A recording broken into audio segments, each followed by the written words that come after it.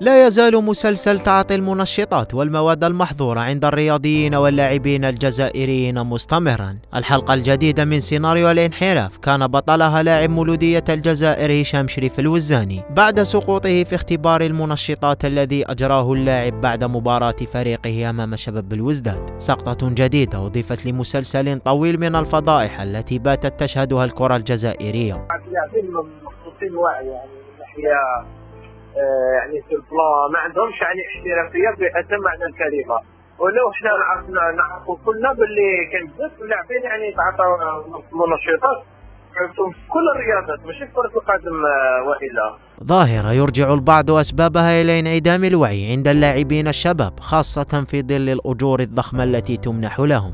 تقريبا جوار يدي يدي كل شهر يدي 100 مليون نقولوا مينيموم 100 مليون واش راح يدير تاع مليون كون ماشي ما يعرفش يتصرف بها. في سير كاين كاين كاين الميولات هذه الميولات تاع الأشخاص.